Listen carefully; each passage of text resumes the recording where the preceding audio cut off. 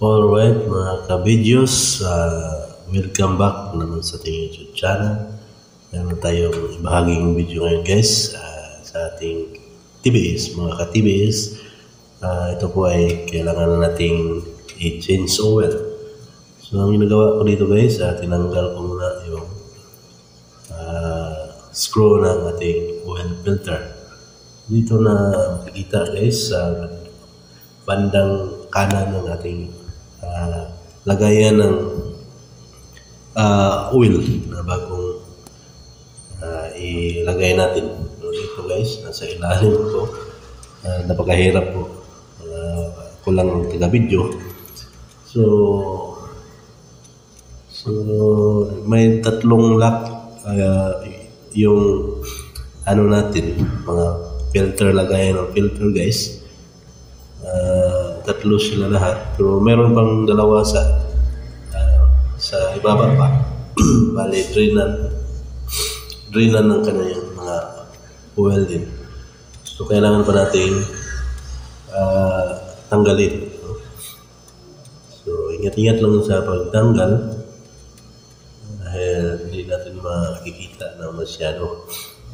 So, ito guys, yung nakita nyo parang ano, square, yun po ay tatanggalin din. So, natanggal na natin. Yan. So,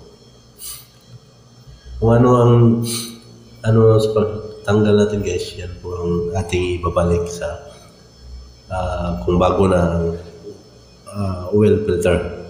Tignan mo mabuti guys.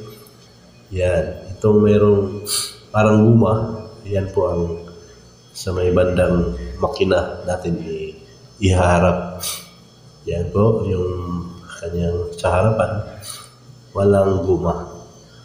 So napakasimple lang po guys. Uh, ibahagi ko lang sa inyo para mayroon kayong ideya kung magsarili lang po tayo mag uh, change oil or mag uh, change ng ating oil filter. Yan guys, so tandaan nyo po guys, uh, ito pong black na rubber, yan po ay ilalagay natin sa uh, bali sa uh, ano, inside ng ating uh, makina. So itong bago guys, nakikita nyo, medyo wala siyang ano, label, pero ito naman po ay uh, parehas lang. Yan, mayroong black, black rubber.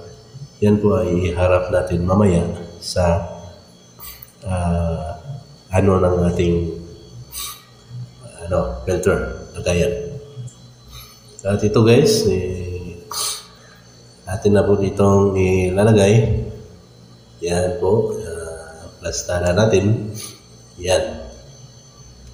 So, ingat-ingat lang po guys sa ating gagawin. Yan.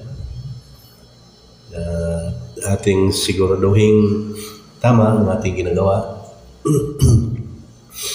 Yan. So, lagay natin ang kanyang cover at mamaya uh, i-screw natin ang kanyang bolt. Kasimple lang po guys at alam kong kayang-kaya niyong gawin. Yan. Konting tiyaga lang po guys. Uh, hindi kasi makikita ko masyado.